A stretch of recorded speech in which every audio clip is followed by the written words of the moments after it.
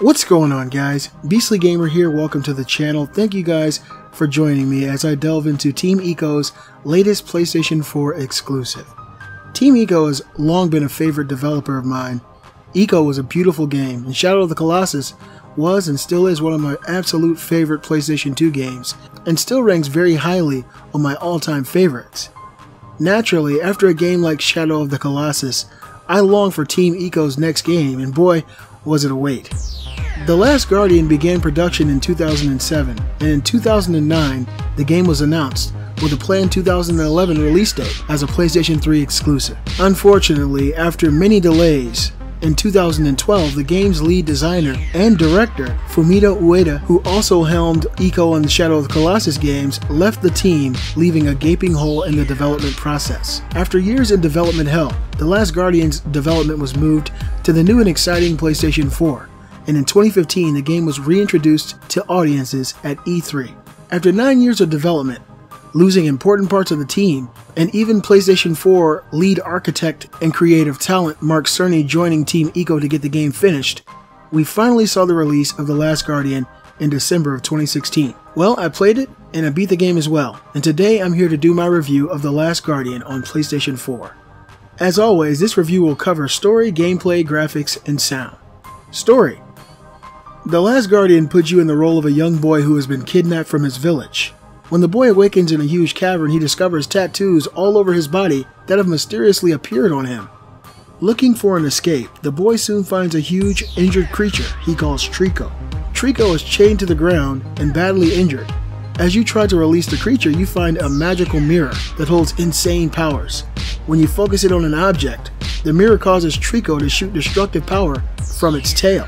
You use this power to release the creature, and the two of you set forth on a journey to get back home. The story in The Last Guardian, while some may like it more than others, didn't do enough for me. I felt that even though some questions were answered, that there were just far too many left unanswered. Like what was the meaning behind the tattoos covering the boy's body in the first place? There are hostiles littered throughout the world, but the motivations of these hostiles were never explained, and even the reason why the young boy was kidnapped in the first place never felt truly expressed. After completing the game, I still have no clue who or what the main enemy was, or why he or it was doing what it was doing in the first place, and these questions are simply unacceptable. You feed Trico barrels of green goo that you find sporadically littered around the game's world, but it's never really explained what this goo is and why Trico is so entranced by it in the first place. The bond between Trico and the player really grows and feels tangible, as initially the creature is hostile towards you, but as you feed it and pet it when it gets panicked, the bond really grows as you go further into the game. I love Team Ico games, and a story like The Shadow of the Colossus needed very little explanation. I feel like The Last Guardian would have greatly benefited from a more fleshed out and consumable narrative that didn't leave so much to the player's imagination. Gameplay The gameplay in The Last Guardian really is honestly the lowest point for me. I love Shadow of the Colossus gameplay. The control scheme was different and new. But it seems like Team Ico went a few steps backwards in The Last Guardian as the controls feel loose and the camera may be the hardest foe in the entire game. You will wrestle with the camera in The Last Guardian more than you would in WWE 2017, and that isn't a joke. There were many times when I completely lost the ability to see the main character, and other times when the camera seemed to just actively work against me. The other big problem with the gameplay is Trico itself. The creature is programmed with what appears to be an incremental bond curve. What I mean is, in the beginning of the game, the creature will listen to your commands, but at a much less frequent rate. As you feed Trico and pet Trico over time, the creature becomes more like a real pet. But like real pets, it doesn't always listen to your commands. As The Last Guardian is primarily a puzzle platformer with some avoiding enemy elements, when it comes to the puzzles, you need to be sure you're doing the right things, or at least going in the right direction.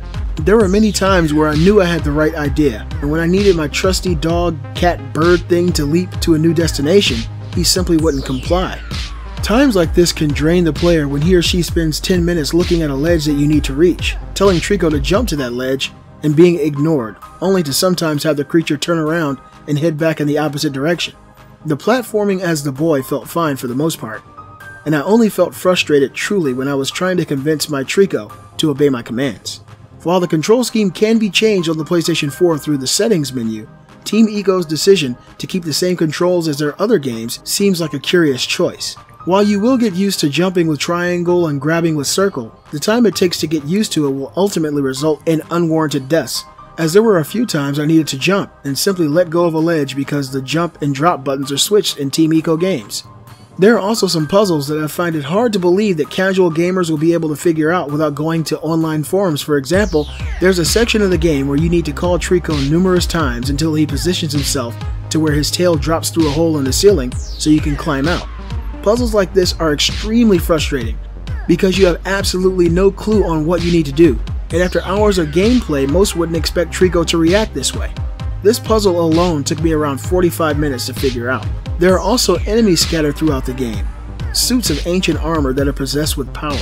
These enemies' only goal is to grab the boy and take him away to his death, but there is really no way for the boy to defeat them, and the only recourse is to let Trico decimate these foes, which he gladly does by himself. The boy can command Trico to attack, but this is a virtually pointless gesture as Trico only swings at the air when you command him. The fact that you cannot kill the enemies and Trico kills them automatically when he sees them makes you feel powerless as you simply ride Trico pulling the spears that they throw into him out, while seemingly watching the action from the back seat. There are some puzzles that I actually really enjoyed. There are large eyes crafted from colored glass that scare Trico and stop him in his tracks at the sight of them. While the dynamic is a unique puzzle, very little is explained about these eyes and why they affect Trico this way. Another big question mark. Graphics The Last Guardian is a beautiful game. When you take into account the world that Team Ico wanted to make, it all makes sense. The overgrown foliage and the dilapidated ancient ruins look exactly how you'd expect them to look.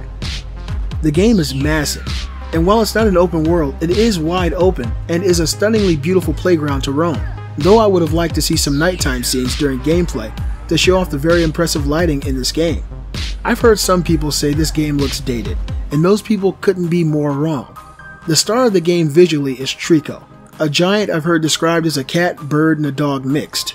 This creature really steals your heart during gameplay. The subtle nuance in the way it looks at you, the way it moves, and the overall design is astounding.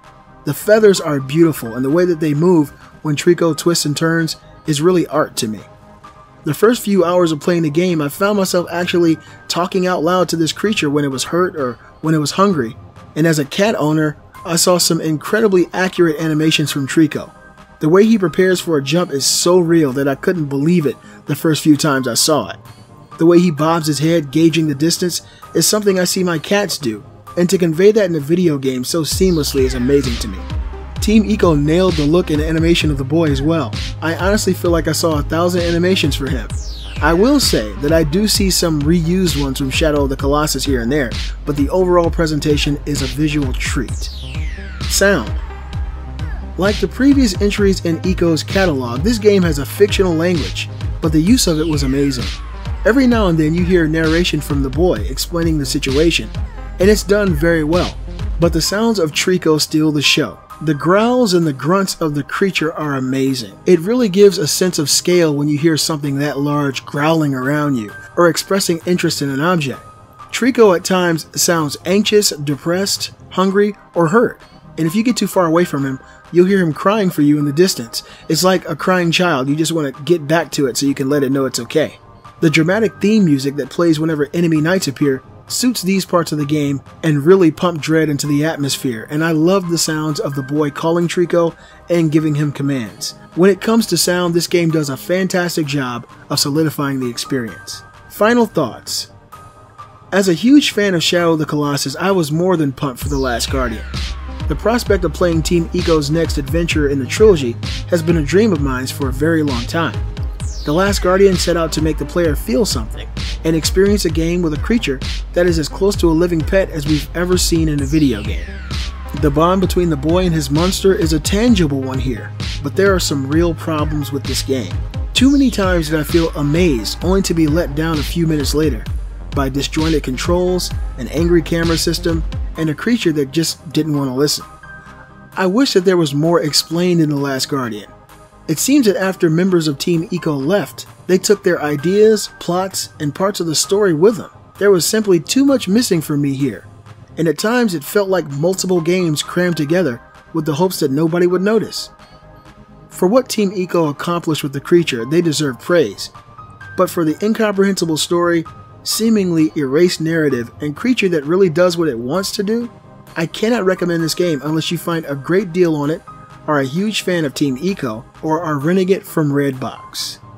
I love Team Ico, but I feel that the turmoil that occurred during development, as well as critical team members leaving, created a gaping hole in the narrative and left fresh ideas dead without proper closure. Unfortunately, there appears to be so many holes that no one on the team could properly fill them. Well, I hope you guys enjoyed my review. It might be a little shock to you guys because I know you guys know how much I love Shadow of the Colossus. Uh, it's one of my favorite games of all time. I was a little let down by The Last Guardian.